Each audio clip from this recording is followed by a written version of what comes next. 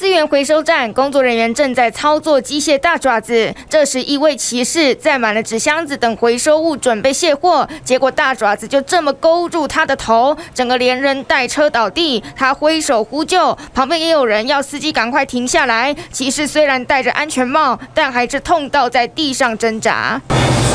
司机赶紧跑下来看，这名骑士他还站得起来，但手抱着头，看起来有被夹伤。其他人上前关心他的伤势，幸好伤势不严重，人清醒，也活动自如。没想到载着回收物去资源回收站会被机械大爪子夹到头，而这事件就发生在南部地区。事后这名骑士可能受伤无大碍，因此没有通报警消。但回收站确实大型机械多，要非常小心。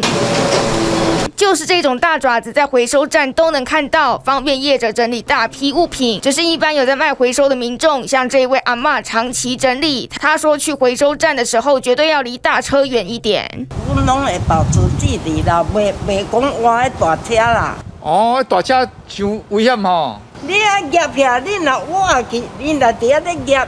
嗯，啊，你啊物件干啦，唔知怎扣一头卡位。因为只要是专业在处理回收物的业者，都一定会使用大型爪或是机器来帮忙压缩。加上民众再来的回收物有一些量多、体积大，但还是要提醒民众去回收站时可以分批载货，并且远离大型机械，才不会像这一次，骑士都还没来得及卸货就被夹伤。TVBS 新闻赵丽高雄报道，请支持 TVBS 国际 Plus 全新频道，让您扩大视野，掌握趋势，接轨全世界。恳请订阅，开启小铃铛。